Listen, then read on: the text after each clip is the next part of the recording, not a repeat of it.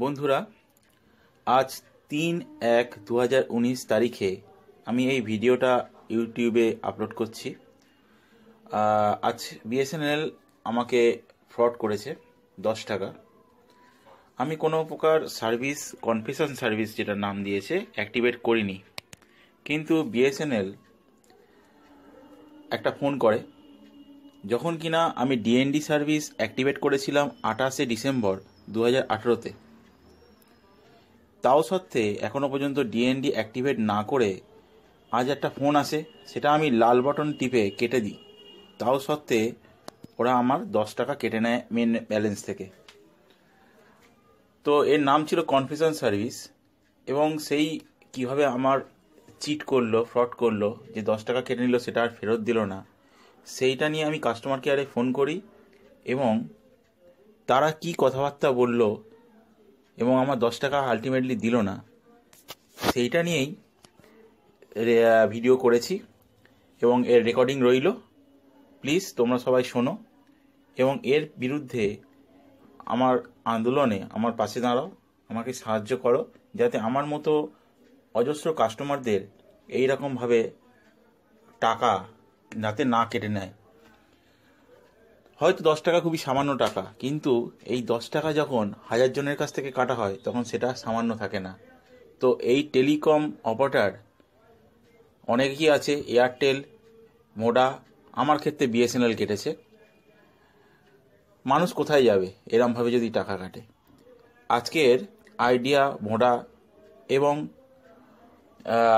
Idea Voda এবং Airtel প্রত্যেক আঠাশ দিন অন্তর পঁয়ত্রিশ টাকা রিচার্জ করেছে, যা সাধারণ মানুষের পক্ষে সামর্থ্যের বাইরে।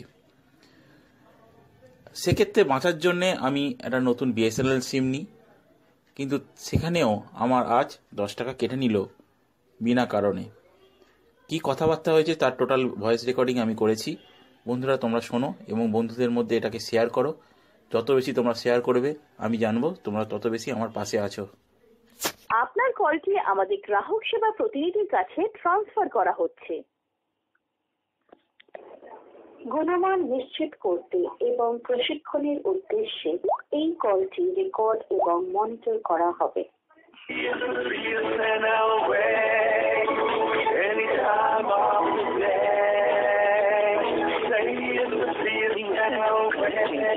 Your expected wait time is less than 60 seconds.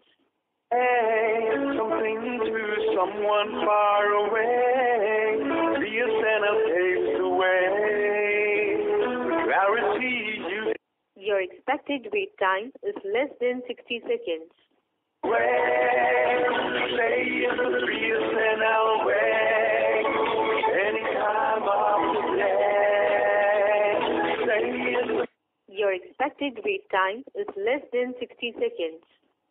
When চ্যানেলে আপনাকে স্বাগত জানাই আমি সুমন আপনাকে কি সাহায্য করতে পারি? হ্যাঁ বলছি আমি তো জানতাম হচ্ছে এয়ারটেল ভোডাফোন এরা চোর। বিএসএনএল এরকম টাকা কাটে আমি তো এই ফার্স্ট টাইম দেখছি। আমি আচ্ছা। কিছু করলাম না অথচ আমার এখান হ্যাঁ। থেকে দশ টাকা কাটা গেল। মেসেজ এসছে you are charge ten rupees for subscribing the service confirmation validity seven যেখানে আমি কিছু করিনি করলাম না একটা ফোন এসেছিল আমি জাস্ট ফোনটা কেটে দিয়েছি। ঠিক আছে? আচ্ছা। ফোনটাকে আমি কোনো অপশনও টিপিনি এক দুই তিন কিছুই প্রেস করলাম না ফোনটা হ্যাঁ। জাস্ট কেটে দিলাম। আর আচ্ছা। উপরন্তু সাত টাকা আমার মাইনাস হয়ে গিয়েছে মেন ব্যালেন্স থেকে। আপনি দেখুন একটু ব্যাপারটা কি হলো। সাত টাকা কেটে নিয়েছে এই তো? দশ টাকা দশ টাকা কেটেছে। সাত দিনের ভ্যালিডিটি দিয়েছে। আচ্ছা সাত দিনের ভ্যালিডিটি দিয়েছে? হ্যাঁ দশ টাকা কেটে নিয়েছে। লাইনে আছেন হ্যাঁ বলুন। লাইন থাকার জন্য ধন্যবাদ। আপনার কনফারেশন বলে একটা এ চালু হয়ে গেছে। সেটা তো আমি চালু করিনি স্যার। সেটা তো আমি চালু করিনি। এটা তো আপনাকে আমরা রিফান্ড করতেই হবে। আমি চালু করলে আমি না নিতাম। আজ কি এটা তো আপনারাই করে দিয়েছেন। না আমরা আপনাকে তো সার্ভিসটা চালু করে হ্যাঁ তো আমি তো সার্ভিসটা তো আমি কি করে চালু করব বলুন? আপনারা না করলে আমি কি করে চালু করব? আমি এক দুই তিন কিছু প্রেস করলাম না ফোন কেটে দিলাম তাহলে আচ্ছা। সার্ভিসটা কি করে চালু হয়?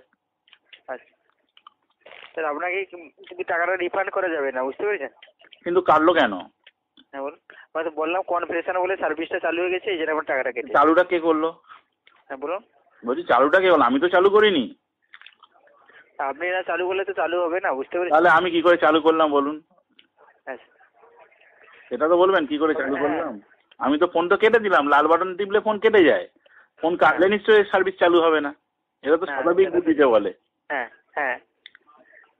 আমি এক দুই তিন হ্যাঁ। থেকে প্রেস করলাম না কি করে চালু হয়? হ্যাঁ। আপনার ওই দশ টাকাটা কাটা হয়েছে ঠিক আছে কনপ্রেশন বলে চালু হয়ে গেছিল সেভেন ডেজের জন্য আমরা এখান থেকে বন্ধ করে দিয়েছি ঠিক আছে? আর আপনার টাকা কাটবে না কিন্তু টাকাটা রিফান্ড করা যাবে না ঠিক আছে? কিন্তু কাটলো কেন? সেটা তো কথা বললাম যে কনপ্রেশন বলে সার্ভিসটা চালু আরে টাকাটা তো আমার গেল কনফ্রেশন সার্ভিস তো আমি চালু করিনি রে ভাই। হ্যাঁ আপনি না চালু করলে তো চালু হবে না আপনার সিমে তাহলে কি করে চালু হলো? আমাকে বুঝিয়ে বলো দেখিনি। আমাকে কি পাগল পেয়েছ? না পাগল করার চেষ্টা করছ সেটা তো বলো তো। হ্যাঁ সেটা বুঝতে পেরেছি। আপনার কনভেশনটা চালু হয়ে গেছিল চালুটা আমরা বন্ধ করে দিয়েছি ঠিক আছে? আর আপনার টাকাটা কেটেছি আপনাকে তো বললাম সেভেন ডেজের জন্য আপনি এই সার্ভিসটা চালু হয়ে গেছিল এই জন্য আমরা দশ টাকাটা কেটেছি। হুম কিন্তু চালু তো আমি করিনি। কথাটা তো সেইটাই চালু তো আমি করিনি। হ্যাঁ।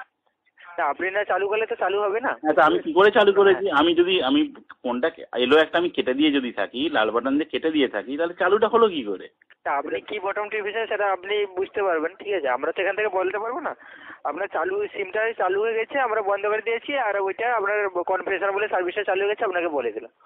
আচ্ছা, আর আমি ডিএনডির জন্য অ্যাক্টিভেট করেছিলাম তার স্টেটাসটা কি একটু দেখে বলুন তো? ডিএনডি তো আপনাকে বন্ধ করে দেয়নি? ডিএনডি যদি বন্ধ করে থাকে হ্যাঁ ডিএনডি বন্ধ করে থাকলে তাহলে এই ফালতু ফোনটা আমার এলো থেকে আমাদের ডিএনডি বন্ধ করে থাকলে তো আসবে না। হুম সেটাই। আমি তো রিকোয়েস্ট তো করে দিয়েছি। এটা সম্ভবত আঠাশ তারিখেই আমি রিকোয়েস্টটা পাঠিয়ে দিয়েছি। আচ্ছা। তাহলে এখনও পর্যন্ত কি ডিএনডি বন্ধ হয়নি? এইসব এইসব ঝামেলা করেন। আপনারাও দেখছি সেই এয়ারটেল ভোডাফোনের মতো চোর হয়ে গেলেন। তা বুঝতে পেরেছি ঠিক আছে? আপনি কি ডিএনডি বন্ধ করতে চাইছেন এই তো? বন্ধ আমি অলরেডি করে দিয়েছি কিন্তু বন্ধ হয়নি কেন আমি তো আঠাশ তারিখে সম্ভবত মেসেজটা পাঠিয়েছি ওয়ান নাইন জিরো নাইনে আচ্ছা। সেক্ষেত্রে যদি বন্ধ না বন্ধ হয়নি বলেই তো আপনার এই ফালতু ফোনটা এসছে। এসে আমার দশ টাকা গেল টাকাটা তো ক্ষতি আমার হলো যে দশ টাকা হোক আর যাই হোক। কি নামে ফ্রিতে আঠাশ দিনের জন্য কলার টিউন আপনারা দিয়েছেন। আচ্ছা। কোন দিন দেখব তার জন্য আপনারা চল্লিশ টাকা কেটে নেবেন। আগে ওটা বন্ধ করুন। একশো তিপ্পান্ন টাকা আপনি রিচার্জ করেছিলেন এই তো? হ্যাঁ হ্যাঁ ওই নতুন হ্যাঁ, সিম নিয়েছিলাম তারপরে এই সব এইসব আসছে। আচ্ছা। আপনি একশো তিপ্পান্ন টাকা ঠিক আছে? হুম হুম। একশো একশো তিপ্পান্ন টাকায় আপনি যে কলার টোনটা পেয়েছিলেন ওই কলার টোনটা আপনার আঠাশ দিন চলবে আঠাশ দিন পরে একা একা বন্ধ হয়ে যাবে। ঠিক আছে। আর ফার্দার যেন টাকা না কাটা হয় যদি ফার্দার টাকা কাটা হয় আমি কিন্তু এই আপনার কলটাও রেকর্ডিং আছে ইউটিউবে তো ফার্স্ট টাইম দেবো সেকেন্ড টাইম আমি কনজিউমার ফোরামে যাব। ঠিক আপনার এখান থেকে থেকে বন্ধ করে দিয়েছি ঠিক আছে? ঠিক আছে। টাকা কাটবে আপাতত আপনার কনভারসেশনটা ইউটিউবে যাচ্ছে এটুকুনি জেনে নিন হ্যাঁ। ঠিক আছে। বন্ধুরা আজ তিন এক দু হাজার উনিশ তারিখে আমি এই ভিডিওটা ইউটিউবে আপলোড করছি। আজ বিএসএনএল আমাকে ফ্রড করেছে দশ টাকা। আমি কোনো প্রকার সার্ভিস কনফিউশন সার্ভিস যেটা নাম দিয়েছে অ্যাক্টিভেট করিনি। কিন্তু বিএসএনএল একটা ফোন করে, যখন কিনা আমি ডিএনডি সার্ভিস অ্যাক্টিভেট করেছিলাম আঠাশে ডিসেম্বর দু হাজার আঠেরোতে।